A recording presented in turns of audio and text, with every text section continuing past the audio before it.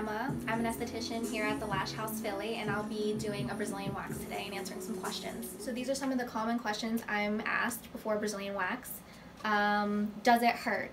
The first wax is usually the one where you'll feel the most discomfort but following that the hair will come in less, it'll be finer and make the experience a lot less pain. Another question that I get asked is how would you prep for a Brazilian wax? So first things first, um, the hair should be about the length of rice. Um, it needs to be long enough so that all the hair is grown up so when we go and remove the hair it all holds tight to the wax. Another prepping um, should be exfoliating prior to coming in for a wax. So in case of uh, ingrown hairs, exfoliating prior to will help lift the hairs up so that when we go to pull we remove all of it at once. It is better to wax uh, over shaving because shaving stimulates hair growth. The hair will come in thicker with shaving. When we wax, what we're doing is removing it from the root. And when you pull it over and over and over again, the hair comes in finer, softer, and eventually will stop growing in areas. Um, shaving also tends to cause irritation um, and ingrowns. Waxing will help reduce the likelihood of ingrowns and will leave you softer and smoother for longer. So the first thing I'm going to do is just cleanse the skin. That's going to remove any sweat or oil before we start to wax.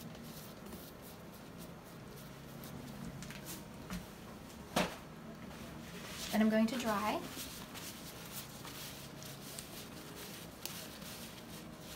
Following that, I'm going to use a little bit of baby powder. Now, all the baby powder does is kind of soak up any leftover uh, moisture that might be on the skin because any moisture is going to make the wax not stick.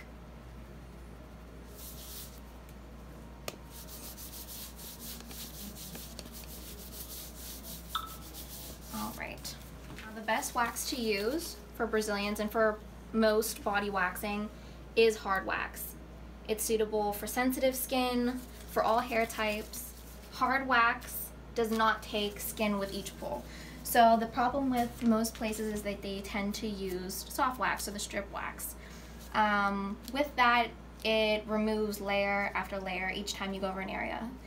Um, that can cause redness, irritation, and could cause breaks in the skin. Immediately after pulling, we apply pressure. That helps to take the sting away.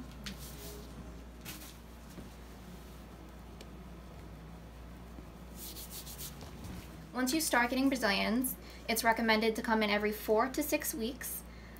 Um, the different kinds of Brazilian, there are different kinds of waxes that you can get for this area. So if you do want to leave hair, you don't have to take all of it. A Brazilian wax includes as much or as little as you want from the front, and that also includes the butt. A bikini would include as much or as little as you want in the front. That could also just be the line, anything that's hanging outside of the underwear.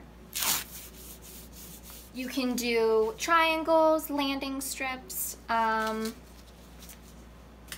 However, Brazilians are the most common types of waxing and most people's fear is that the butt would be the most sensitive part to wax, however it's the least painful. You can always come in for a wax while you're on your period or while you're pregnant. I will say that you're more sensitive on your period. We just ask that you wear a tampon when you come in. Um, when you're pregnant, I would suggest having come in early on or before um, becoming pregnant. That way uh, once you once you start getting waxed again once you are pregnant it won't be as uncomfortable. The hair will already be thinner. The people that I would suggest to not get a wax are those that are on certain kinds of medications. We will be able to let you know if you call in and try to book an appointment. Um, which ones will not allow you to get a wax at the time I would also suggest not drinking the night prior to a wax. Drinking um, hours before getting a wax can thin out your blood, make you more likely to bleed during a wax, and can make you more sensitive.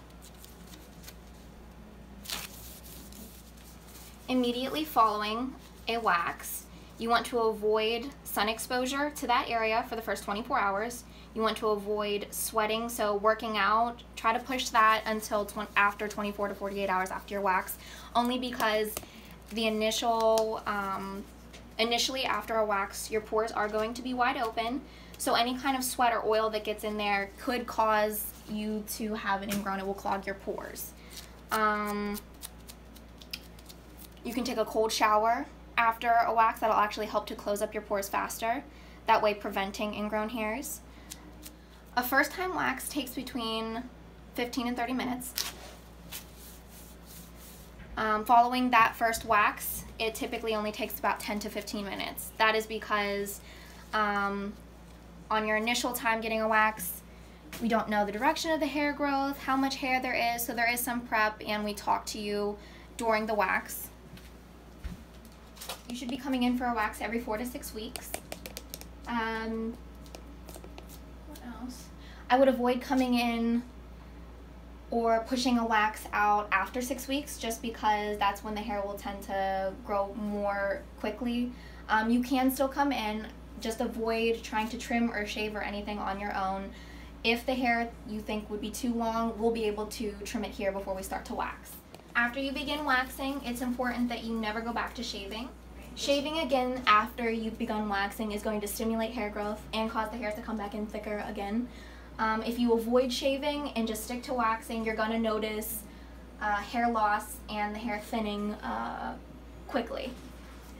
Here at the Lash House Philly, we do offer our waxing to men as well. We come in for back waxes, chest, stomach, um, we do nose waxes, shoulders, eyebrows. Back waxes for men are actually very popular. Not only is it going to thin out the hair on your back, but if you feel like you have acne scarring or you tend to get acne on your back, um, having your back waxed will kind of open up those pores and then using the depilatory serum after the wax will just help to um, dry out any oil or sweat there.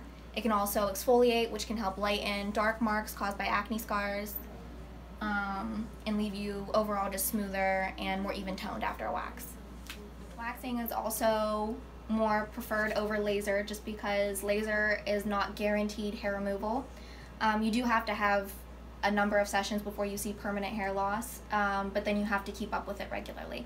Now with waxing, it's a cheaper alternative and you see immediately results after usually around 6 to 12 months of waxes.